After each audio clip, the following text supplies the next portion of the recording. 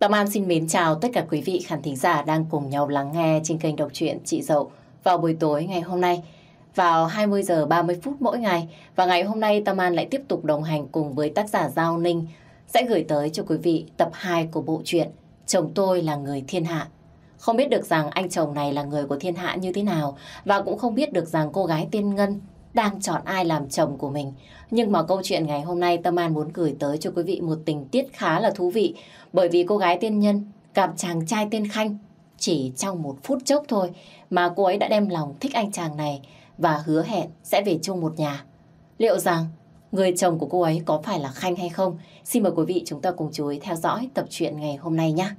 Và quý vị khán thính giả thân mến, cũng như thường lệ sau khi lắng nghe xong chuyện thì quý vị đừng quên ủng hộ cho Tâm An bằng cách like, chia sẻ và bấm đăng ký kênh. Tâm An xin cảm ơn quý vị rất nhiều. Và ngay bây giờ chúng ta sẽ cùng nhau lắng nghe tập 2 của bộ truyện Chồng tôi là người thiên hạ, tác giả Giao Ninh qua giọng đọc của Tâm An.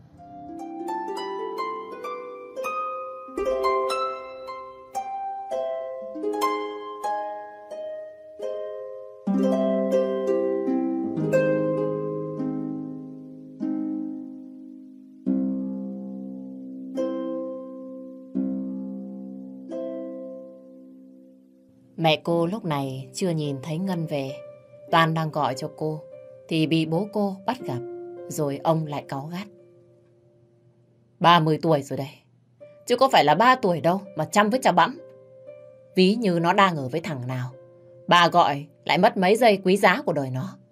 Nó về nó ăn vạ thì chết dở đấy. Thấy chồng bảo như vậy, bà Việt mới bĩu môi lên tiếng. Ông mà cũng quan trọng phút giây quá nhỉ. Người thì to. ấy vậy mà ứ hự được dăm cái. Đã yếu xỉu rồi. Chán bỏ mẹ đi được. Do bà chứ không phải là do tôi. Bà xem có thằng đàn ông nào hì hục như Châu. Suốt ba mươi mấy năm trời phục vụ như tôi không. Châu nó chỉ có cầy khoảng tầm 10 năm là nó hết sức rồi. Muốn ăn chút bảo ngư, cá ngựa tẩm bổ thì bà lại chê tôi béo. Với lại bệnh các thứ. Không chăm bẵm gì tôi. Lại còn đòi hái quả. Trung quy lại tôi yếu ấy, là do bà cả đấy. Ông đặt tờ báo xuống, phụng phịu xị mặt ra. Nhìn hai ông bà đã già, nhưng đang còn tình cảm lắm. Lúc ở cơ quan, công ty, thì toàn là bàn chuyện công việc, xưng đồng chí các thứ. Nhưng lúc riêng có hai ông bà, bản chất dâm dê lại được bộc lộ. Thật đáng buồn, là gen trội ấy lại không thừa hưởng cho con cái một tí nào. Ông bà Việt chờ cơm con gái đến quá 7 giờ. Lần nào Ngân đi ra ngoài tìm chồng, ông bà ở nhà cũng cầu khấn thắp nhang, giống như đêm 30 Tết vậy. Mong sao cho con gái của mình có thằng nào đó nó hốt nhanh, hốt lẹ thì càng tốt. Thôi con ăn cơm trước đây, biết chị Ngân lúc nào mới về à? Với lại có phải chị ấy lần đầu tiên đi chơi đâu. Bố mẹ lại cứ hóng. Còn đói sắp chết rồi à? Thằng Nam vừa phụng phịu vừa đưa tay bốc miếng giò cho vào mồm nhai tóp tép. Hai ông bà cũng lặng lẽ ngồi vào bàn, không ngóng trông con gái nữa. Thôi con đói thì con ăn trước đi, tí rồi bố mẹ ăn. Chả hiểu tại sao hôm nay tôi lại cứ có niềm tin vào cái Ngân là nó có bạn trai. Giọt ruột thế chứ lệ. Ông tâm sự nho nhỏ rồi lại thở dài. Thằng Nam nghe bố bảo như vậy thì liền cười. Mặt của nó giáo hoành, chẳng có một chút cảm xúc. Còn thấy bố ngày nào, chả có niềm tin. Bố tin chị Ngân được chục năm rồi đấy. Lúc nào bố cũng có niềm tin. Con cũng thế. Con nghĩ không năm nay thì vài năm nữa thì chị ấy có người rước đi thôi. Bà Việt nghe thằng Nam nói như vậy thì cốc vào đầu nó một cái. Thằng bé chỉ giỏi làm cho ông bà hoang mang. Người ta nói rồi, nhà có con gái đến tuổi mà chưa có chồng, giống như quả bom nổ chậm. Kẻ thì bàn tán. Không hết duyên ấy, thì lại bị soi mói, bị chai mặt suốt ngày. Ngân và Khanh dừng xe trước cổng nhà. Ngân biết bố mẹ trong nhà cũng đang hóng lắm. Lần này dù thế nào đi chăng nữa, cô phải dẫn Khanh vào. Cho bố mẹ cô biết, cô cũng yêu đương, cô cũng hẹn hò các thứ, cho ông bà đỡ lo. Anh vào nhà em chơi nhé, bố mẹ em cũng đang mong. Ngân nói lấp lửng e thẹn. Biết là lần đầu tiên đã đòi người ta vào gặp mặt gia đình mình là vội vã. Nhưng còn hơn bị bố mẹ cô lại chửi bới rằng chả kiếm được ai ra gì. Trên danh nghĩa là bạn bè thì chắc là ổn hơn. Khanh nghe cô nói như vậy thì hơi rụt rè. Anh cũng không biết phải làm gì. Thấy Khanh căng thẳng, Ngân lên tiếng động viên. Thực ra chỉ là vào chào bố mẹ em một tiếng thôi, chứ không có gì sâu xa đâu. Bố mẹ em rất mong em đưa được người đàn ông về. Thế nên anh cứ vào nhé, với tư cách là bạn bè bình thường. Không có gì áp lực đâu. Khanh gật đầu, bọc trái cây định mang về cúng, bất đắc dĩ thành quà biếu bố mẹ người yêu. Khanh cũng rồn rẩy lắm. Có người yêu là điều hay, nhưng anh chưa từng nghĩ nó lại đến nhanh quá như vậy. Cầm bọc trái cây xuống xe, tay anh run rẩy, đúng như kiểu mới về nhà người yêu ra mắt lần đầu. Ngân nhìn thấy vậy thì phì cười. Mọi khi về đến cổng, Ngân hay tắt máy rồi xuống xe dắt bộ vào trong cho đỡ ồn nào. Nhưng hôm nay thêm người, được một lần mở mày mở mặt, nên Ngân bật đèn rồi phi thẳng xe vào trong. Chẳng mấy khi dẫn trai về nhà, nên tranh thủ canh kiệu với gia đình lúc nào thì hay lúc đó. Tiếng giày cao gót của con gái lại xen lẫn tiếng giày cộp cộp của đàn ông. Ông bà đang ăn trong nhà, hình như nghe thấy có điều gì khác lạ, nên buông đũa xuống và chạy thẳng ra cửa. Đúng y như mong mỏi, con gái đang khoác tay một thanh niên cao to về nhà, dáng dấp khôi ngô tuấn tú. Bà Việt nhìn từ trên xuống dưới, từ dưới lên trên, rồi dừng ngay đoạn giữa. Thấy quần hằn hằn ra một củ khoai lang, bà liền buột mồm. Sống tốt đấy, rèn tốt, súng đạn tốt. Dạ, bác, bác gái, bác vừa bảo gì ạ? Hai ông bà nhìn nhau y như bắt được vàng, cười phớ lớ đỡ đồ đoàn, hỏi liên tục chữa cháy. Đi có mệt không con? Hai đứa vào nhà đi, nhà đang đợi cơm. Khánh nhíu lông mày, định giật tay của Ngân. Cây này không có trong dao kèo. Lúc đầu anh chỉ nghĩ rằng chào hỏi dăm ba câu rồi về ngay. Mọi khi đúng giờ anh về nhà. Nay đi ra ngoài còn chưa kịp gọi cho bố mẹ. Sợ ông bà ở nhà cũng đang chờ cơm. Ngân biết Khanh ý là không muốn vào. Mặt cô nhăn nhó cầu cứu như sắp chết vậy. Này, anh thương em ấy thì thương cho chót đi. Anh mà về bây giờ, bố mẹ ăn thịt em đấy. Anh không tưởng tượng được đâu. Ông bà mong chờ em đưa bạn trai về. Ra mắt từ lâu lắm rồi. Anh cứ đi vào đi. Anh diễn nốt cho ông bà vui. Dăm 10 phút thì nhanh. Nha. Ngân năn nỉ hết lời. Gương mặt thống khổ của cô nhăn nhó lại. Chồng mới tội nghiệp làm sao. Tất nhiên là Khanh hiểu được cái cảm giác bị thúc giục, lập gia đình nó như thế nào. Chính anh cũng có lúc bị gia đình ép buộc. Nhưng chỉ vì công việc dày đặc, cái nghề nhạy cảm này khiến cho Khanh không ít lần bị cản trở trong hôn nhân. Nhiều đám tưởng chừng như êm đẹp, nhưng đến lúc anh nói rằng anh làm bác sĩ để khám cho những người đàn bà, thì tuyệt nhiên ai nấy đều chạy mất dép.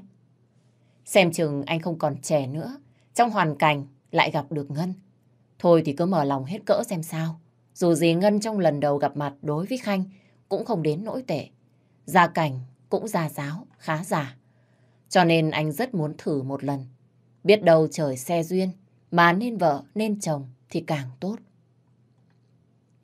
Ơ hai đứa này, đi vào nhà ăn cơm con. Cơm canh nguội hết rồi. Đứng ngoài đây làm gì? Tiếng bà Việt lên tiếng, làm cho Khanh thôi không suy nghĩ nữa. Anh tháo giày, rồi cùng Ngân bước vào trong nhà ăn tối. Thằng Nam lúc này thấy chị dẫn người yêu về thì tí nữa thì sạc cơm. Nó không ngờ một bà chằn đanh đá, khó tính, suốt ngày cảm giám như chị nó, lại kiếm được một anh chàng ngon ghẻ thế này. Ngân cũng không biết chuyện hôm nay rồi sẽ đi đến đâu. Nhưng chắc chắn vài ngày nữa, Ngân sẽ không cần phải nghe mấy câu dục dã lấy chồng của bố mẹ cô. Khanh được ông bà tiếp đãi như con rể thực sự. Nhồi hết ba bát cơm, cộng thêm vài ly bia, khiến cho Khanh no căng bụng. Đến nỗi cái cúc áo muốn bật ra. Để lộ ngấn mỡ trắng bóc. Nhìn đến đây, tự dưng Ngân muốn sơi tái, Khanh ngay tại chỗ. Ông bà kể cho anh nghe kỹ hơn về gia đình. Nhưng đến khi Khanh hỏi đến công việc của ông bà đang làm, thì ông Việt chỉ bảo rằng hai ông bà làm công ăn lương, tránh nói đến chuyện làm quan to xếp lớn, sợ người ta lại ngợp. Với lại ông sợ nhiều người hám danh hám lợi, lấy con gái ông vì tiền, cho nên ông không thích nói thẳng. Thế là xong bữa cơm, Khanh xin phép ra về. Cả nhà Ngân lưu luyến bịn dịn mãi không thôi. Ông Việt bắt tay bắt chân, quý mến. Khi nào rảnh rỗi, đến ăn cơm với bác. Thấy chúng mày có tướng phu thê, bác cũng mừng. Cả nhà nhìn ông Việt cười phơ lớ. Có khi nào ông lại văn vẻ thế đâu. ấy thế mà bây giờ cũng hòa mỹ ra trò. Khanh cười gật đầu, nhất trí lên tiếng. Dạ chắc chắn rồi thưa bác. Cháu chỉ sợ cháu đến nhiều. Hai bác lại ghét cháu. Nên... Ôi đời! Ai lại ghét con rể? Cháu cứ sang đây.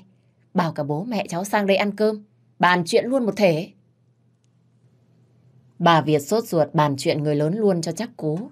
Nghe đến đây, Khanh chỉ cười trừ và không dám nói thêm. Ngân dặn anh đi về cẩn thận, mặc áo khoác này kia, cho đỡ lạnh. Đúng như là mấy đứa trẻ danh đang yêu nhau vậy. Quan tâm có một tí thôi mà sướng gần chết. Yêu nhau vài năm, chắc còn sướng đến độ nào nữa đây. Tối muộn hôm đó, Khanh nhắn tin cho Ngân. Anh nói rằng anh muốn chuyện tình cảm của hai người sẽ tiến xa hơn, muốn tìm hiểu nhau kỹ càng hơn. Cho nên ngày mai anh hẹn Ngân ra ngoài ăn cơm. Không cần nói, Ngân mừng đến độ nhún nhảy muốn sập cái giường. Ngân chạy qua phòng bố mẹ. Mẹ, tối mai anh Khanh rủ con ra ngoài ăn. Con mặc cái gì bây giờ ạ? Khỏi phải nói, hai ông bà già bay qua phòng của Ngân và tìm cho con gái cái váy xinh nhất. Trong khi ông lựa những bộ kín đáo, thì bà Việt lại chọn những cái hở hang, khoét eo, mỏng tang như tờ giấy vậy. Ông Việt nhìn như vậy, lắc đầu phản đối. Mấy bộ này, e là không được. Dù gì thằng Khanh, nó là bác sĩ. Nó thích những đứa nề nếp nhã nhặn. Tôi thiết nghĩ cái Ngân nên mặc quần. Ông giơ lên một độ bồ vét đen góp ý. Bà Việt thấy như vậy thì giật lấy và bĩu môi. Gớm, tầm này còn kín vết chả hở. Ông xem, cái ngân nhà mình, mai không thịt thằng cu, tôi làm con của ông. Mày cứ mặc cái tấm vải này cho mẹ, chỉ cần che được ngực với cái chỗ này thôi. Còn những cái chỗ khác ấy, mày cứ hở ra cho mát. Bố mày cứ vẽ chuyện chứ ngày xưa, mẹ mặc kín có thích đâu. Toàn cắm mắt nhìn ngực mẹ đấy thôi. Bây giờ nhá, hai đứa mày ăn xong, mày cứ đưa nó lên giường, rồi đè nó ra. Dập cho vải dập. Tháng sau, thông báo có bầu cho nhanh gọn. Tầm này, cần chắc cú. Như thanh tao cái gì. À, mày mẹ đưa cho mày một bộ xì líp gen. Hôm đi biển mua hàng đẹp lắm. Mẹ chưa mặc. Thấy ông bà bàn thì Ngân hơi lo. Ví như Khanh thấy cô mặc bộ hở hang, lại nghĩ rằng cô hư hỏng, rồi chạy mất dép thì bỏ mẹ. Biết là con gái lo lắng, bà Việt lại lên tiếng động viên. Thôi, không cần phải lo. Mai mẹ đưa vũ khí mật cho. Đảm bảo, nó nhìn thấy mày, nó chết đứa đử. Con cứ yên tâm đi, mẹ chưa bao giờ làm hỏng việc. Nghe bà Việt nói câu chắc nịch, thì Ngân cũng yên tâm lắm. Cô nóng lòng chờ đến tối ngày mai. 5 giờ chiều mới gặp nhau lần đầu. 7 giờ trò chuyện một chút. Ngày mai là hẹn hò riêng lần đầu tiên. Mới chưa đến một ngày mà gia đình của Ngân đã bàn đến khoản sơi luôn con dai nhỏ họ. Tính ra chuyện này có được gọi là ăn sổi không nhỉ? Vậy là cả ngày hôm sau, Ngân chẳng làm được việc gì. Bán buôn cũng tạm gác sang một bên. Bà Việt thì cũng nghỉ ở nhà để chăm chút cho con gái thật là tươm tất. Gần 7 giờ tối, con gái sắp đi chơi. Bà Việt mới quay ra quay vào và dặn dò con gái lần cuối. Con phải cố gắng biết chưa? Cứ dâm dê, lần nào ấy, bây giờ con học đi là vừa. Này nhá, không biết gì về phòng the, sau này khó ở lắm. Vợ chồng có thương nhau đến mấy, mà chuyện phòng the nhạt như nước ốc, thì cũng vứt con ạ. Ngân nghe xong thì gật gù và tiếp thu. Nói về độ dê của bà Việt, thì cô cũng biết đôi chút. Còn cả xóm biết mẹ cô nói chuyện dâm đãng đến cỡ nào. Hôm trước hàng xóm làm tiệc, mời bố mẹ cô sang. Mà bà nói chuyện dâm quá, khiến gia chủ đỏ mặt, toàn phải lùi vào trong nhà nằm. Thế nên lần này cô rất yên tâm về việc mẹ làm quân sư cho cô. Này, mặc bộ này vào. Tí phải đợi nó cởi ra đấy nhá. Chứ bà lại ham hố quá, bà cởi trước. Thì nó mất mẹ hứng. Nhớ đấy, mặc cái này vào. Khiêu gợi lên con à, ướt át vào. Đảm bảo 5 phút sau, nó không bế mày lên giường. Tao làm con chó. Cầm lấy bộ slip gen mẹ đưa. Công nhận bà toàn thích mấy bộ diêm rúa.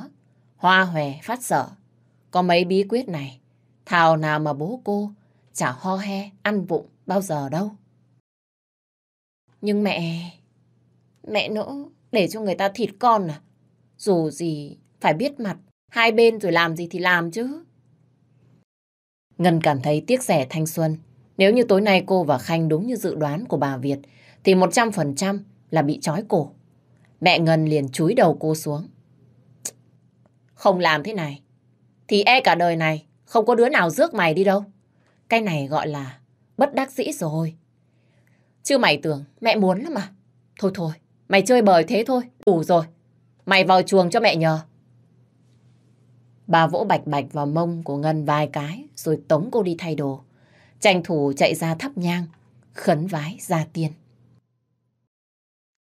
Còn lại thánh thần thổ công, con mong các ngài phù hộ cho cháu nó lấy chồng trong ngày mai. Gia cảnh không cần phải quá giàu có, chỉ cần thằng Khanh ấy, nó không bị yếu sinh lý, phụt một phát ăn ngay là... Cái bà kia, bà khấn cái quái gì thế hả?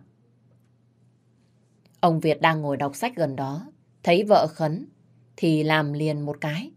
Bị cắt ngang, bà quay ra trợn mắt nhìn ông. Tôi khấn cái gì thì kệ mẹ tôi. Ông có muốn con gái lấy chồng, thì để yên đấy, cho tôi khấn. Ông Việt lắc đầu, lại đeo kính lên và đọc sách. Trong tâm của ông, ông biết thừa, bà Việt cũng nóng lòng muốn Ngân đi lấy chồng. Nhưng thương con gái quá, nên lâu lâu bà mới nói ngang ngược vậy thôi. Này có Khanh ngó ngàng, chắc chắn hắn không thể nào thoát được khỏi tay của bà Việt. Tiếng xe đỗ xịch trước cửa nhà làm hai ông bà ngó ra. Nhanh chân gọi con gái, bà cáo bằn. Nhanh lên, mày ngủ trong đấy đi à? Có cái tấm vải quây Mặc cái đếch gì mà lâu thế hả? Bà sốt ruột quá, cứ gõ cửa thùm thụp kêu la. Khanh đi vào lịch sự chào hỏi. Dạ, không việc gì phải vội đâu ạ. Bác cứ để cho em ấy thong thả. Bà Việt cười trừ.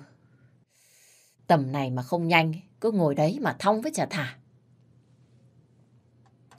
Một lúc sau Ngân bước ra với bộ váy ngắn, cũn cỡn, Cô xấu hổ kéo kéo xuống để che đậy, thì bị mẹ cô lừ mắt một cái. Tuy là nhà bán quần áo, bản thân cô lại chẳng thiếu quần áo, nhưng mấy bộ mặc ngắn thế này không phải là gu của Ngân. Chẳng biết Khanh có cười cô không? Chào tay con gái cho Khanh, ông bà niềm nở lên tiếng. Bác giao nó cho con, con muốn làm cái gì thì tùy nhá, muốn đi đâu thì đi, bác không gọi đâu. Khanh gãi đầu cười như được mùa, anh lễ phép chào, sau đó bước ra xe. Ngân đi giày cao gót theo sau. Đến cửa, bà Việt kéo tay và dúi cho Ngân một lọ nước hoa. Con cầm lấy. Nghe kỹ mẹ này. Sau khi chúng mày ăn xong, mày chờ nó đi rửa tay, rồi xịt một ít nước hoa này lên cổ, lên váy cho thơm. Biết chưa? Ngân cầm lấy lọ nước hoa, mở nắp người thử, thì ôi thôi nồng ghê gớm. Nó nửa giống như mùi nhang, một nửa giống như mùi nước hoa rẻ tiền mà mấy bà sồn sồn hay dùng. Ngân mới nhíu mày. Khiếp, mùi gì mà ghê chết đi được. Sao không xịt bây giờ mà lại ăn xong à mẹ? Mà thôi, con không xịt đâu. Mùi này kinh lắm. Ngân đẩy lọ nước hoa về phía bà Việt và từ chối. Nhưng đời đào bà tha, bà nhảy dựng lên, ấn lọ nước hoa vào túi sách của Ngân, rồi nghiến răng nói nhỏ. Đúng là mày rốt đặc, chứ chả phải oan uổng gì. Mày cứ làm theo mẹ, không chết đâu mà lo. Mày mà không làm ấy, đến lúc sôi hỏng bỏng không, về đây, tao giết mày. Gật nhẹ cái đầu rồi bước ra xe. Cô biết bố mẹ cô đã dồn biết bao nhiêu công sức để chỉn chu cho cô đi chơi với Khanh. Nên cho dù thế nào đi chăng nữa, việc hôm nay mà thất bại thì chắc chắn cuộc đời của cô chẳng còn cơ hội nào nữa. Hôm nay Khanh mượn xe của bố anh đi cho sang. Thật sự nhà Ngân có hai ô tô nhưng toàn để trong kho chứ ít khi đi lại. Phần vì bố mẹ đã có xe cơ quan, phần vì lười đánh ra đánh vào. Thay vì vậy, đi xe máy, vừa hưởng không khí trong lành mà lại không bị gò bó. Suốt chặng đường đi, hai người ngại ngùng, hầu như rất ít nói chuyện. Công nhận chóng vánh ghê. Mới hôm qua còn không biết ai với ai. Hôm nay lại chính thức hẹn hò. Chuyện thật tưởng như đùa. Hai con người cùng bị ép buộc nên tạo cơ hội hết sức có thể cho nhau. Thấy không khí gượng gạo, Ngân ấn kính thấp xuống. Nhìn ra ngoài đường vào buổi tối man mát này thì dễ chịu vô cùng. Quan trọng là tránh mặt Khanh đang nhìn cô chăm chú. Đúng là đời chẳng phú cho cô một ít kiến thức nào để cua trai cả. Đang nhập tâm nhìn ra ngoài đường thì cái Nhi gọi cho cô. Đùa, con nhỏ này, từ khi chồng nó về, nó chỉ ru rú ở trong nhà. Ngân rủ đi đâu nó cũng không đi. Ấy vậy mà giờ đây, đang đi chơi thì nó lại gọi. Ai đấy em? Dạ, bạn em anh à. Khanh hỏi Ngân liền trả lời. Cái Nhi gọi vào lúc này cũng hay. Đang không có việc gì làm. Lại chữa ngượng cũng tốt. Ngân mở loa ngoài lên. Ngay lúc đầu, mồm của nó đã trù chéo. Cái con đĩ này, đi đâu đấy hả? Tao gọi không được. Hay là chẳng may, hít phải hơi dai rồi. Tao biết ngay mà, bình thường ấy, mày có như vậy bao giờ đâu.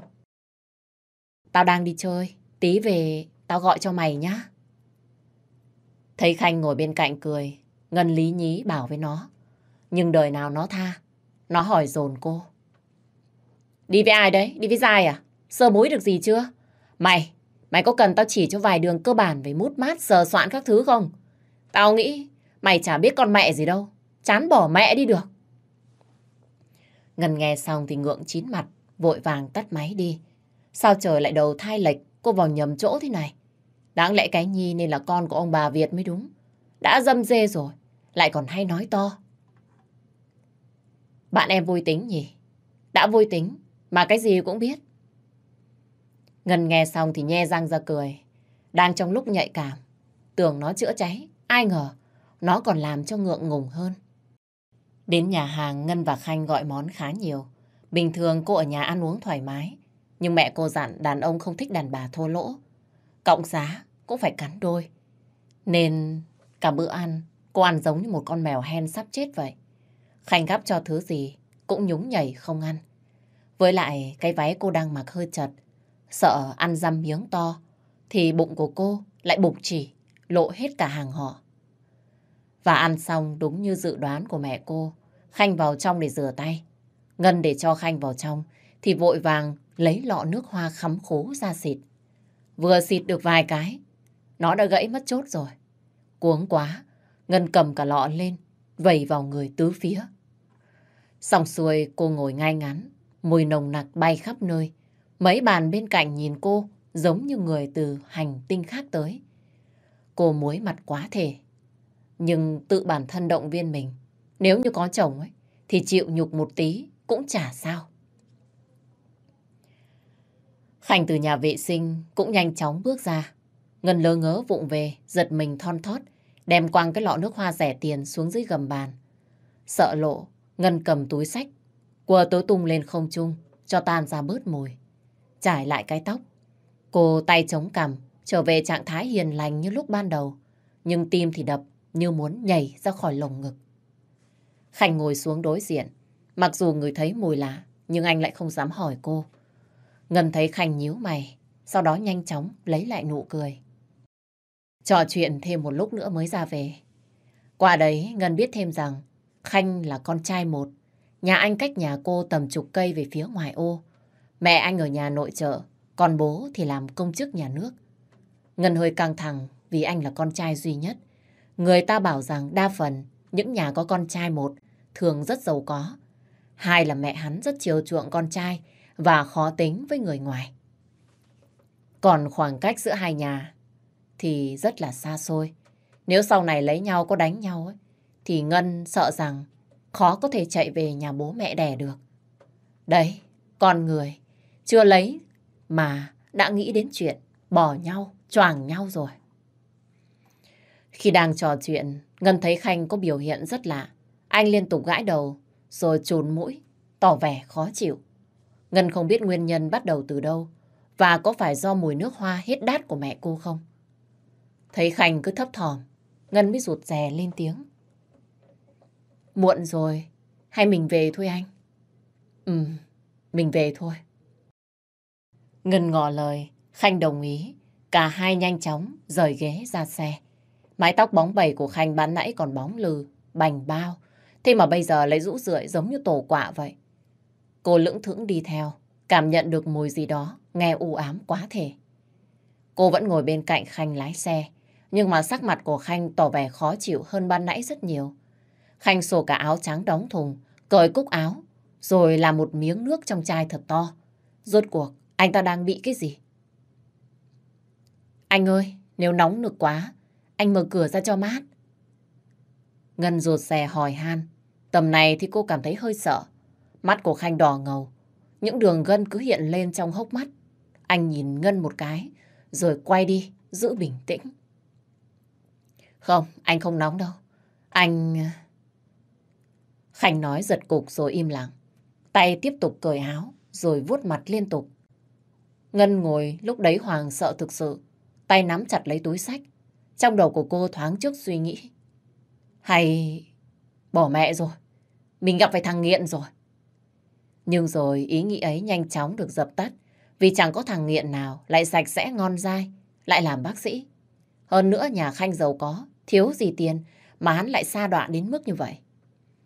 Ngân lắc đầu, sau đó nhìn sang Khanh. Thấy anh ta đang cởi đến nút áo cuối cùng, lộ từng mối thịt săn chắc cuồn cuộn, những đường gân như một sợi chảo, chằng chịt, cùng với mùi nước hoa nam tính phả ra. Ngân chết đứng, cô như dán mắt vào cơ thể, đẹp kia, không rời. Bao năm ế lòi, có biết hơi chai là thế nào đâu. Lần này mà Khanh ngỏ ý thịt, thì có nghiện, chứ xỉ ke, Ngân cũng sời tất. Ngân giả vờ giữ ý tứ khi con mắt của Khanh lia tới. Khổ nỗi cái váy ngắn, cũn cỡn, cứ che chỗ này thì hở chỗ kia, chẳng đâu vào đâu. Nhất là cái ngực bị o ép muốn ngạt thở. Trong lúc này Khanh đang lái xe, bỗng dừng phanh kít lại. Ngân theo đà, ngã cắm mặt về phía trước. Khanh nhào tới, nắm lấy hai vai của Ngân, lắc mạnh. Ngân, em có ấn tượng gì về anh? Em thấy anh có thể làm chồng của em được không? Giọng nói của Khanh chắc nịch, mắt nhìn thẳng vào mắt của Ngân. Hơi rượu cứ thế phả vào mặt, làm cô chết đứ đừ. Không ngần ngại, Ngân trả lời luôn. Ừ, dạ vâng, em nghĩ chúng mình khá hợp nhau. Gia đình cũng ngang tầm, lại dễ nói chuyện, nên cho nhau một cơ hội. Lời nói vừa dứt, Khanh nhổm người đỡ lấy khuôn mặt trái xoan của Ngân và hôn gấp gáp. Anh cắn vào môi của cô đau đớn khiến cho cô nhăn mặt. Ngân mất đà, chạm lấy ngực của anh. Chào ôi, tại sao mà rắn chắc thế này? Trần đời, tại sao lại nặn ra một người hoàn mỹ như vậy chứ? Trong khi tay chân đang tranh thủ nắn nắn sờ sờ, môi thì cứ cắn cho tôi bời. Nhưng đầu óc của cô đang nảy số không ngừng. Bây giờ cô mới nghĩ ra, cái chai nước hoa rẻ tiền của bà Việt liệu có phải là nước hoa kích dục? Tại sao bà lại bảo cô xịt nó lúc ăn xong nhỉ? Tại sao từ lúc ấy, khi mà Khanh bắt đầu đỏ mặt, như bị trúng tà vậy? Sâu chuỗi sự việc, rất có thể bà Việt đã cho con gái chơi chiều cuối cùng. Đúng như cái khẩu hiệu của gia đình. Tầm này thì cần quái gì liêm gì, Cốt đi, chỉ vì muốn lấy được một tấm chồng. Khi Ngân nhận ra điều ấy, thì Khanh cởi được dây váy xuống tận eo. Ngân tái mặt, vội vàng kéo lên. Anh, ở đây là đường xá, ai mà nhìn thấy xấu hổ lắm. Ngân lý nhí đánh động, Khanh buông cô ra. Trong sự mộng mị của hương hoa kích thích, vẫn chừa chỗ tỉnh táo cho Khanh suy nghĩ. Đường đường là một bác sĩ, nhà gia giáo công chức, mà lại làm chuyện người lớn ngay giữa đường. Gặp thằng trẻ trâu nào, nó quay lại, thì chắc chắn ngày mai mặt của anh sẽ lên mặt báo. Anh, anh xin lỗi. Để anh đưa em đến chỗ nào, kín đáo nhé. Khanh gật đầu rồi vội vã đánh xe rời đi. Nhìn mồ hôi của anh cứ vã ra như chảy từng dòng xuống. Cơ ngực săn chắc. Sao mà thèm đến như vậy? Ngân ngồi bên cạnh chỉnh lại đầu tóc. Rồi len lén nhìn trộm. Ngân đang thầm nghĩ. Cái chỗ kín đáo ấy có phải là nhà nghỉ hay là khách sạn hay không? Nhưng với cái kích dục này chắc chắn Khanh sẽ không đưa cô về nhà. Dựa lưng vào ghế, Ngân mới rung đùi. Thôi, giữ gìn đến năm 30 tuổi là tốt rồi. Bây giờ thì sổ ra thôi. Người ngon ghẻ, sạch sẽ thế này mà không sơi thì phí của giời. Vì khá muộn rồi nên hầu như các con phố đều vắng hoe. Các khách sạn đã đóng cửa. Ngân trong lúc chờ đợi được xem hàng thì lấy điện thoại ra nhắn tin cho cái Nhi. Bảo nó dạy cho mấy chiêu khiêu gợi. Tầm này thì chắc vợ chồng nó đang rên la dữ lắm rồi. Biết là làm gián đoạn hai vợ chồng nó, nhưng thực sự cô cần giúp đỡ. Tin nhắn vừa gửi đi, cái Nhi đã gửi lại biết bao nhiêu cách làm tình hay ho mà một đứa mít đặc như Ngân chẳng bao giờ biết đến. Gần cuối, cái Nhi ghi chú thêm. Đàn ông rất quan trọng tiếng rên gì, nên là mày phải rên cho thật mát tai. Đùa chứ, Ngân đã nghe ai rên bao giờ đâu mà biết. Cô bảo, nó ví dụ thử, nó liền ghi âm lại tiếng rên rồi gửi nhanh cho cô. Cuống quá, chưa kịp chỉnh nhỏ âm thanh, thì tiếng rên cứ ý a, ý ới phát ra. Khanh nhìn chằm chằm vào Ngân, cười như được mùa. Anh cũng nghĩ rằng cô đang thèm chết mệt, nên mở ra xem tạm. Ngân xấu hổ cúi mặt, không biết để đâu cho hết. Có một điều quan trọng mà Ngân nghĩ, ấy là chuyện có nên mang thai hay không. Liệu sau đêm nay cả hai có lấy nhau, hay lại tỉnh một đêm rồi đường ai nấy đi? Và liệu nếu như cô có bầu, thì chuyện của hai người sẽ đi đến đâu? Không, Ngân không bao giờ từng nghĩ sẽ có lúc cô lấy đứa con ra để trao đổi. Hay là làm cái bình phong để người đàn ông nhìn vào sẽ biết cố gắng, sẽ đối xử tốt với cô. Không đời nào, Ngân có khái niệm vì con cái mà hai người chuyển về sống chung khi chưa thực sự sẵn sàng. Qua đêm này nếu còn duyên, hai người sẽ đi tiếp. Còn nếu không, cũng chẳng mất mát gì. Coi như là quét màng nhện. Nếm trải mùi đời một chút cũng chẳng sao. Xe dừng lại tại một khách sạn sang trọng nhất nhì thành phố. Khanh đánh xe thẳng vào trong hầm. Thoàng thấy cái biển ghi địa chỉ, cô lại cầm điện thoại, rồi đặt Grab, mua một hộp bao cao su, giao đến đây. Tuy là lần đầu tiên, nhưng không thể để có chút sơ suất nào. Thấy Ngân có vẻ mặt căng thẳng, Khanh cúi người tháo dây an toàn cho cô, nhân tiện cho cô đụng chạm vào vùng cấm địa. Ôi cha mẹ ơi, nó còn to hơn một củ cải. Ngân hơi giật mình lúng túng. Cô xịt nước dãi lên một cái, thì nghe thấy Thanh thì thầm. Tí nữa thôi, anh sẽ cho em tất cả. Buổi đêm trời có chút gió lạnh, lặng lẽ ngồi co do bên con xe ga mới mua sáng nay. Vừa sáng mới lấy được em nó về, tối đi nhận nhiệm vụ luôn. Ngắm con xe cả đời mẹ anh tích cóp, mua cho anh đi làm bằng bạn bằng bè. Quân không khỏi vui mừng, nhưng thêm vào đấy là nỗi thương mẹ ra giết. Hai mẹ con anh sống ở khu tập thể đã cũ từ khi bà còn trẻ. Chân nước chân giáo đưa anh bé tí lên Hà Nội lập nghiệp. Quãng thời gian khắc khổ ấy, anh chưa từng bao giờ quên được. Thấm thoát đã hơn 20 năm. Bây giờ anh là một chàng công an điều tra phòng chống tội phạm. Lương ba cọc ba đồng. Ước mơ mua cho mẹ một căn nhà nhỏ. Chưa thể nào thực hiện được. Ngồi co giò trên chiếc xe máy. Trên người khoác lên chiếc áo phao Grab. Trông anh cũng giống xe ôm lắm. Quân nhận lệnh hôm nay đứng ở đây để theo dõi quán ba bên đường. Nghe bảo tầm hôm nay hoặc ngày mai kia sẽ có một vụ trao đổi buôn bán chất cấm ở đây. Anh phải cắm chốt ở đây, giả làm xe ôm cho tiện bề theo dõi. Tiếng bụng kêu lên sùng sục, quân ôm bụng sờ sờ. Buổi tối đi làm chưa kịp ăn cái gì, lại quên mất tiền. Mùi xôi bên kia đường cứ sộc lên mũi, thơm lừng, nghe sao mà thèm quá. Này, em dai, em đi mua cho chị một hộp ba con sói về đây nhé. Chị trả công cho, ngồi đằng nào cũng không có khách. Chị gọi Grab tầm này, mà lâu quá. Tiếng của Ngân từ đằng sau đi đến vỗ vai. Cô lối hối tìm tiền trong giỏ sách, không nhìn thấy vẻ mặt ngây ngô của Quân. Này, chị bao nhiêu tuổi? Mà chị gọi tôi là em. Tôi sinh năm 91 lận đấy. Gơm, sư bố ông còn vặn vẹo. Tao sinh năm 89. Như nào? Có đủ điều kiện để mày gọi tao là chị không? Mà thôi, không nói nhiều. Đi đi, tiền đây. Này, mua hộp nào. Tốt tốt vào đấy nhá. Ngân lẩu bầu mắng quân đôi câu. Anh không nghĩ rằng nhìn mặt Ngân trẻ như vậy mà đã ngoài 30. Mà nhìn tướng tá thì lại rất ngon. Rúi vào tay anh hẳn 500 nghìn. Ngân bảo chỉ cần mua một hộp bao cao su. Còn đâu, quân ăn tiền. Đang trong vai xe ôm lại đang đói. Đứng ở đây thì không có động tĩnh gì. Quân liền cất tiền vào túi. Và buồn mồm, anh hỏi lại. Thì loại tốt đấy. Là loại gì? Thì chú cứ ra đấy hỏi người ta bán cho. Chị biết đếch nào được. Nhanh lên, chị đang cần. Ngân nhíu mày thúc giục. Quân bĩu môi lên xe và phóng đi. Bụng của anh nghĩ. Nhà chị mà không biết thì ai biết. Đi nhà nghỉ lúc đêm hôm này mà lại định bụng. Bảo mình ngây thơ trong sáng. Chỉ có ma mới tin. Dù trong lòng có chút khinh khỉnh, nhưng được tiền nên Quân phóng xe đi. Anh ra tít tới chỗ chân cầu, chỗ nhiều nhà nghỉ thì thấy có một tiệm thuốc. Một lát sau Quân chạy về, thấy Ngân đang đứng ngoài chờ. Cô sợ vào trong chưa có gì, Khanh lại thịt cô sớm thì chết dở. Nhận lấy hộp ba con sói, Ngân mừng như bắt được vàng. Chưa kịp nói lời cảm ơn, liền chạy ù vào khách sạn. Quân đứng thẫn thờ giây lát, rồi mới ra chỗ bà bán xôi. Trong đầu, thôi không nghĩ ngợi.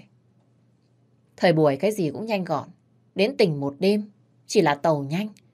Khổ thân cho thanh niên làm công an, mà bị người ta tưởng là xe ôm. Quan trọng, Quân cũng sắp sửa ba chục, nhưng cũng chưa có ma nào theo anh. Ngân lúc này nhanh chân bước lên phòng, mở cửa ra thấy Khanh đã tắm xong, trên người chỉ còn một mảnh vải mỏng tang để che chắn. Khanh nằm phơi hàng trên giường, có trải ga trắng mút chuẩn bị để chờ sơi. Ngân đi đến nơi chưa kịp cởi giày, thì Khanh đã lao vào cắn xé cô. Anh hít hào mùi hương trên người của cô, rồi liếm láp. Ngân chống cự. Cô muốn ngày đầu tiên trong đời của cô phải thật sự đáng nhớ. Em muốn đi tắm. Không cần tắm đâu, người em thơm quá rồi. Anh không chịu được nữa. Nói xong, Khanh bế thốc Ngân lên giường. Cái khăn tắm Khanh quấn mắc vào chân của cô rơi xuống. Giây phút ấy, Ngân thấy mình đã mất thời gian để làm những chuyện vô bổ mà không thưởng thức ngay món chuối xanh huyền thoại.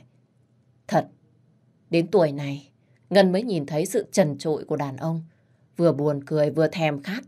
Trong giây phút cháy bỏng, con người ta sắp trao cho nhau cái đẹp đẽ nhất của cuộc đời, thì Ngân lại có chút lưỡng lự. Cô không biết mình có đang đi đúng đường. Rồi sau này, liệu Khanh có chịu trách nhiệm với cuộc đời của cô? Khi họ mới quen nhau ngày hôm qua, chiều đi ăn chung và đêm nay lại lên giường cùng với nhau. Quả thực, thời gian yêu nhau của hai người quá là dài. Ngân nuốt nước bọt cái ực, tiếc rẻ cái trình tiết quý giá. Đặt với rẻ gì tầm này, khi mà người ta cô đơn quá lâu, gia đình họ sốt ruột muốn con cái lập gia đình. Nhắc không được ấy, thì dọa dẫm, dọa dẫm không được ấy, thì làm nhiều cách, miễn sao con mình có thể lấy chồng nhanh nhất có thể. Vài điều ấy thôi cũng đủ cho một cô gái tuổi 30, chán nản và buồn bực. Ngân hít vào một cái. Tất cả sự lo lắng của gia đình sẽ được giải quyết vào hôm nay. Ngân đưa đôi tay nắm lấy vai của Khanh cào cấu, những cái cắn xé khoái lạc. Khanh vườn Ngân một lúc cho cô biết những mật ngọt của tình yêu. Ngân vụng về sờ soạn củ cải đen với những đường gân xanh rợn. Sự tò mò, sự buồn chán, sự ham muốn thể xác tạo nên một cô gái tên Ngân như bây giờ. Trái với Ngân vụng về, cứng ngắc, Khanh lại khá khéo và mềm mại. Tay của anh nghịch ngợm cô bé một lúc khá lâu. Ngân cong người run rẩy, chợt nhớ đến con bạn thân bày cách rên gì. Cô liền la lên oai oái, làm cho Khanh phì cười. Anh đã làm gì em đâu, em cứ thả lòng người ra. Đúng rồi, cứ nhẹ nhàng thôi. Anh bắt nhịp cho Ngân vào quỹ đạo. Anh loay quay, rập rình, rồi bất ngờ anh thúc mạnh một cái vào bên trong. Ngân trợn ngược mắt lên rồi gào to dãy rủa. Khanh ôm lấy người Ngân chặt cứng, nghe rõ tiếng nhịp tim của cô đang đập rộn ràng. Anh thều thào nói nhỏ. Đây, đây mới là dên em à. Ngân bây giờ chả còn thiết tha gì nữa. Cô nằm như chết, hơi thở đều đều. Khanh nằm một bên, vén vài sợi tóc vương trên hai má đỏ bự và bật cười lên tiếng. Chồng em kìa, chắc không nghĩ nó lại đau đến thế đúng không? Lần đầu đau là đúng rồi. Những lần sau ấy, em sẽ sung sướng hơn. Khanh cười hé hé, rồi ôm chặt lấy Ngân vào lòng. Anh chia sẻ những điều bí mật của phụ nữ mà chính Ngân cũng không thể nào biết được. Cuối cùng do mệt quá, Ngân chìm vào giấc ngủ ngon lành. Đến nửa đêm, Khanh lại dựng cô dậy và tiếp tục. Đúng là lần này, nghe chừng có vẻ dễ chịu hơn. Sáng hôm sau khi mặt trời chiếu rọi qua tấm rèm, họ mới biết trời đã sáng. Mặc quần áo vội vàng, Ngân để ý thấy trên ga trải giường lấm tấm những vệt máu dài. Sợ Khanh biết sẽ cười, cô liền đậy cái chăn lên. Nào ngờ anh đứng sau từ lúc nào, vòng tay ôm eo của cô, cười hi hí, làm cho cô ngượng chín mặt.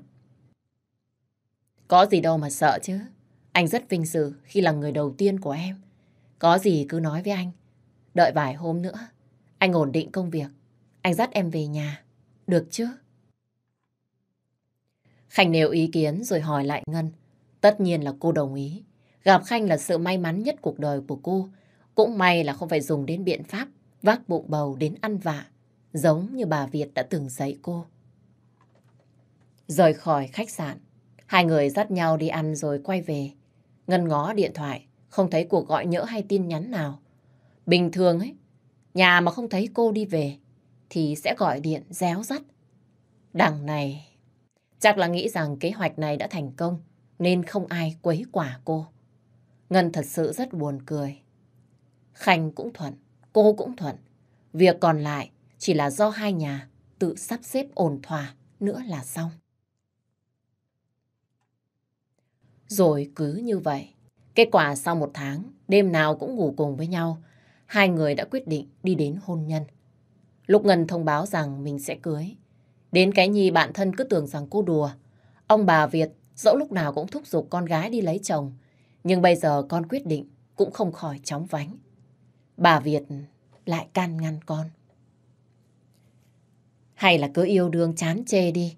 Cái gì vội vàng quá cũng không tốt con à. Con quyết định rồi, để hai đứa con tự thu xếp. Bố mẹ chẳng phải là từ rất lâu, muốn con đi lấy chồng còn gì. Ngân vừa nói vừa thu xếp đồ đạc mà không nhìn hai ông bà. Câu này nghe xót xa như thể trách móc mà ngược lại còn chứa đựng cả đôi chút hả hê. Con gái ba chục tuổi, nay có người đàng hoàng rước đi, ông bà nên mừng mới đúng chứ. Với lại đằng nào cũng lấy, thôi thì cứ cưới đi, cho nhanh chóng, gọn lẹ. Buổi tối hôm đó, Khanh sắp xếp cho Ngân về thăm nhà. Anh có nói qua cho bố mẹ anh rằng Tối nay anh sẽ đưa bạn gái về ra mắt và hai ông bà rất mừng. Cùng cảnh ế như nhau nên Ngân biết bên nhà ấy cũng giống như bố mẹ của cô. Họ trông mong con trai của họ dẫn bạn gái về. Chỉ mong rằng hai ông bà đừng quá khắt khe với cô. Khánh lái xe ô tô chở Ngân đến nhà. Cô run lắm. Định bụng bảo anh dừng xe, mua giỏ quà mang vào cho đỡ chống trải thì Khanh mới xua tay.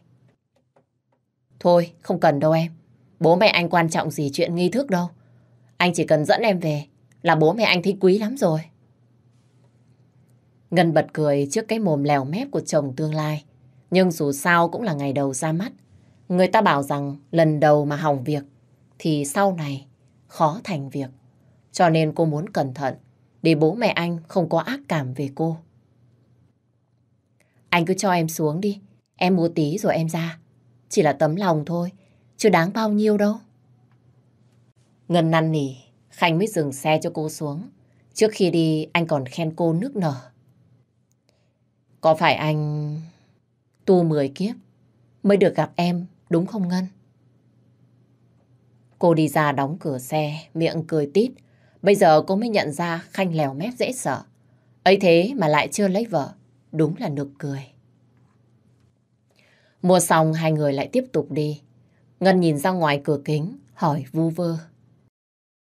Anh này, liệu anh làm nghề nhạy cảm như thế, cả ngày tiếp xúc với cả nghìn cái âm đạo, có khi nào anh thấy của vợ anh lại chán không?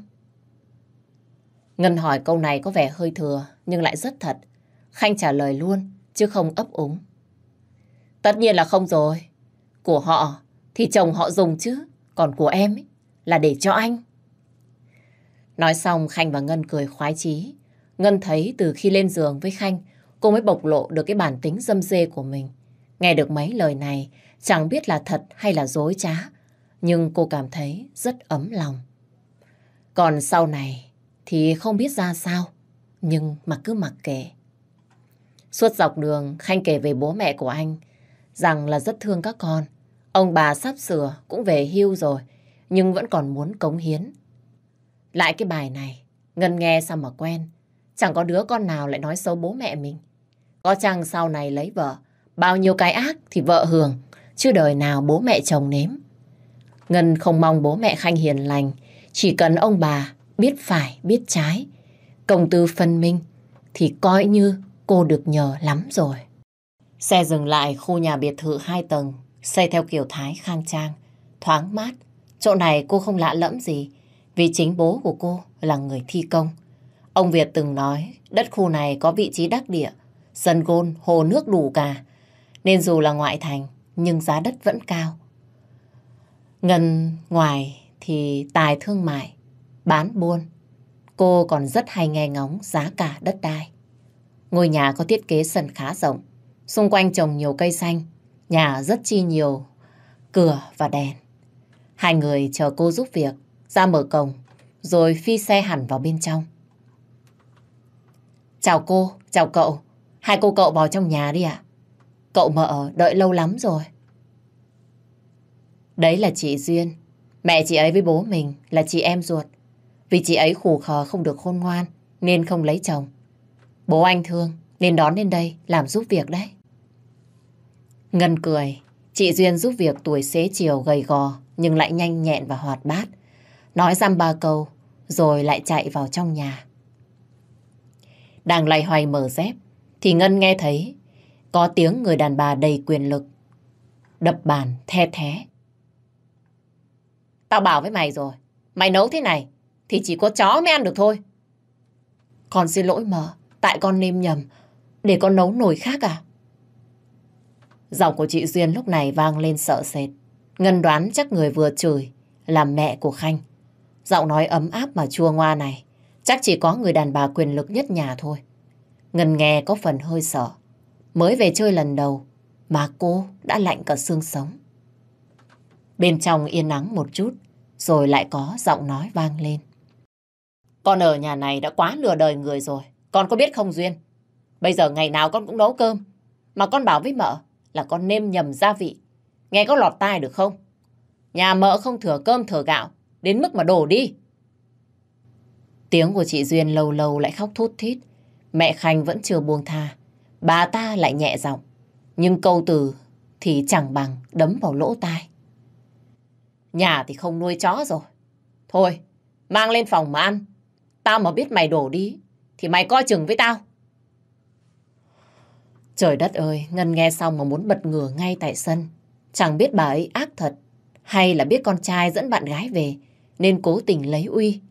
Mấy câu từ này không nghĩ lại được thốt ra từ một người có ăn có học như vậy. Khánh vừa hay đi cất xe xong chạy lại. Anh vỗ eo của Ngân ra hiệu bước vào. Đến đây rồi, không thể vì mấy hình ảnh không thuận mắt mà đánh giá sai lầm được. Ngân tự chấn an bản thân đôi chút rồi bước vào trong. Phòng khách không có ai. Đi sâu vào trong là phòng bếp. Vừa hay đi đến đây thì bố Khanh cũng tắm và từ trên lầu bước xuống. Thấy con trai dắt bạn gái mang về, ông niềm nở mừng ra mặt. Thấy có tiếng nói chuyện, bà mẹ cũng te te chạy lên. Khánh mới nhanh nhầu giới thiệu.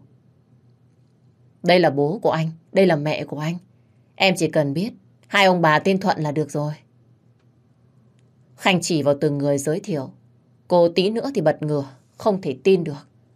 Trong khi bố anh, ông Thuận cao tầm mét tám, da trắng bảnh bao, cầm còn để dâu quai nón, trông rất là ngầu. So với ông Việt bố cô thì ông Thuận phong độ hơn rất nhiều.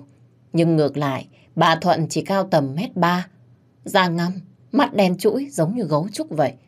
Đầu búi ngược tóc ra sau, trông rất là đanh đá. Nước da ngăm ngăm, bờ môi dày và hàm răng thì ố vàng, giống như uống quá nhiều nước chè đặc. Bà mặc một bộ đồ hoa ở nhà khá thoải mái. So với dì Duyên giúp việc ban nãy, thì bà này chỉ hơn ở cái thần thái, làm chủ nhà thôi. Ngân không hiểu được, mắt của ông Thuận có vấn đề gì, mà lại lấy một bà vợ xấu đến nỗi khó tin. Chẳng khác nào, đìa đeo chân hạc. Nhưng còn một điểm nữa là ông Thuận cao to như vậy, mà bà ta lại chỉ có một núm như vậy. Liệu có ảnh hưởng gì không? Chẳng may chọc một cái mà lên tới họng thì thôi, xác định con mẹ nó rồi. Cũng may là Khanh thừa hưởng gen đẹp trai của bố, chứ lại môi thâm răng vàng giống như mẹ anh thì chắc là Ngân chạy mất dép rồi. Này, con người yêu của mày bị câm à? Tại sao nó có đứng im như thế? Không chào hỏi được câu nào à? Ngân đang cười hô hố bỗng tắt tiếng vì độ có duyên của bà Thuận. Đúng là lần đầu ra mắt gặp phải cái cảnh khó ưa. Ngân niềm nở nhưng trong bụng như chứa một đống nước có ga. Cô lễ phép chào hỏi. ấy chết, cháu xin lỗi. Cháu tên là Ngân. Cháu 30 tuổi ạ. Nhà cháu ở trong nội thành, cách tầm 10 cây số. Bố mẹ cháu làm nhà nước. Cháu còn một đứa em trai đang học. Cháu định giới thiệu ấy, nhưng cháu nghe bác chửi hay quá nên cháu quên mất. Khiếp, nhìn miệng bác chửi, nghe ngọt ngào lắm à. Eo ơi, cái môi, nó cứ bay lật phật lật phật, sinh chết đi được à. Bà Thuận đứng hình ngơ ngác, trông ngô nghê dã man. Chắc bà đang không biết rằng cô khen thật hay là nói đều bà. Trên khuôn mặt quá nhiều nếp nhăn và chẳng có một chút son phấn. Nên giọng của bà trầm xuống. Cháu thông cảm nhá, tính bác nó thật thà, lại hay nói thẳng. Cháu vào nhà ăn cơm đi, vừa hay mới dọn lên đấy. Ngân Hòa nhã gật đầu, có vẻ bà không có ý vô duyên, nhưng cái tính ấy nó ngấm vào máu của bà. Tính ra đấy phải là điều tốt mới đúng. Nhưng bà mẹ chồng bốp chát, nói luôn ấy, thường dễ sống hơn những bà lúc nào cũng nhe răng hờ hờ cười, cuối cùng lại toàn đâm chọc sau lưng. Ngân theo cả nhà đến khu bếp ăn, tương đối sạch sẽ. Trên bàn vài con cá rô rán giòn, bát cà pháo chắc là còn thiếu bát canh mà chị Duyên bị phạt mang đi ăn. Thật, có chuyện Ngân không hiểu được, có cần phải phạt người ta cái cách đấy không? Ngân thoáng nghĩ chắc Khanh không nói cho bố mẹ anh biết rằng sẽ dẫn bạn gái đến nhà chơi. Nên gia đình mới ăn đạm bạc như vậy. Không phải là cô chê, nhưng mà tâm lý nhà ai trả vậy. Khách đến là mâm cao cỗ đầy. ấy vậy mà... Mẹ, con nói với mẹ rồi. Hôm nay con dẫn bạn gái tới chơi. Thế mà mẹ không bảo chị Duyên làm ít đồ ăn ngon ngon à? Ôi dào ơi, ngon cái gì mà ngon. Nó nấu canh còn không nên hồn kia kìa. Chán lắm cái con này. Dạo này nó bị làm sao ấy. Với lại đồ ăn còn đầy đây. Việc cái gì phải mua. Cái ngân ấy sau này về nhà mình. Để cho nó quen với cơm rau cơm dưa đi. Đúng không? Ngân ngồi nghe bà Thuận nói trong lòng có hơi ấm ức. Cô lại phát hiện ra người cầm quyền trong nhà này là bà Thuận chứ chẳng phải là ông.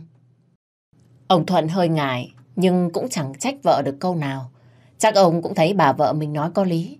Đành lục trong tủ ra ít bò khô cùng với mấy lon bia, hai cha con cùng uống.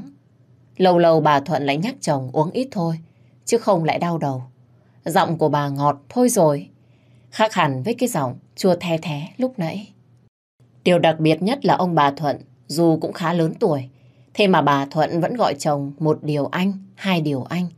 Chẳng bù cho bố mẹ cô, suốt ngày ông với bà nghe xa cách lắm.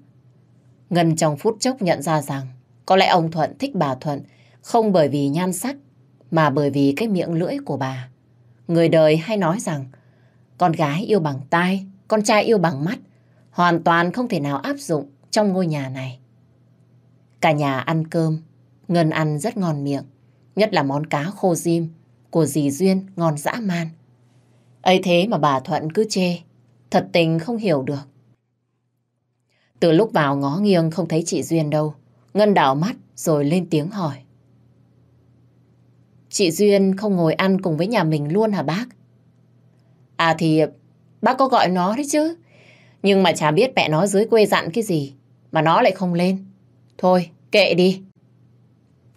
Bà Thuận giải thích lấp liếm, trái ngược hoàn toàn với thái độ chửi như chém của bà. Rõ ràng, bà bắt gì ấy lên phòng. Bây giờ có mặt chồng ở đây thì lại ngọt ngào. Công nhận xem ra bà Thuận này hơi bị hiểm đấy. Ngân này, cháu đang làm gì? Có cùng ngành với thằng Khanh không?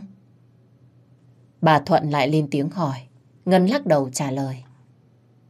Dạ không, cháu bán quần áo chứ không làm nhà nước à? Vừa nói đến đây, Ngân thấy sắc mặt của bà xanh hẳn. Cái môi của bà cong lên khinh khỉnh. Thái độ này là gì? Bà ta đang khinh thường cô ư? Thì ra cũng là bán buôn chợ búa, chứ chả học hành gì. Này, mẹ hỏi thật nhá. Hai đứa mày quen nhau như thế nào? Sau này tranh lệch về học vấn, liệu có ở được với nhau không? Bán mấy bộ quần áo thì tiền được mấy đồng. Thằng Khanh nó đi làm hành chính. Tháng ít nhất cũng 15 triệu rồi. Hồi giờ tưởng thế nào? Hóa ra quanh quẩn lại là vấn đề tiền bạc. Ngân thấy bà này thú vị phết, tính cách y như cái tướng. Khanh thấy mẹ mình hò đến vấn đề nhạy cảm thì nhíu mày. Anh lễ phép nói nhỏ. Mẹ ơi, lương của con ấy không bằng một góc của Ngân. Tuy không làm nhà nước, nhưng tháng kiếm chục triệu. Thậm chí là trăm triệu ấy mẹ. Không đùa được đâu. Ưng thì bán, không ưng thì nghỉ. Với lại Ngân có hai bằng đại học. Tại cô ấy không thích làm cơ quan thôi ạ. À? Khánh nói khéo quá khiến cho bà tái mặt. Anh nói đúng chứ không phải nói sai. Đúng là bà mẹ chồng nào cũng như vậy. Suốt ngày, chị nghĩ con trai mình là Ngọc là Ngà. Còn con gái người ta là cống rãnh không bằng. Cuối cùng bà ta lại chống chế. Nhưng mà mẹ không thích. Con nghĩ mà xem. Cả con cả bố đều làm nhà nước. Bây giờ có con dâu về mà bán buôn tầm thường. Người ta cười chết con ạ. Ý bà Thuận, điều này là không muốn cho cưới rồi. Ngân không sợ và cũng không quan trọng lắm đến chuyện bà có thích cô hay không. Lúc đầu còn thấy thích, chứ bây giờ cảm thấy hơi hãm rồi.